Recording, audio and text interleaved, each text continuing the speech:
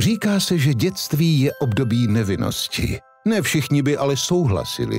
Po plné cestě z malebných manufaktur jsou hračky plné nadějí a snů.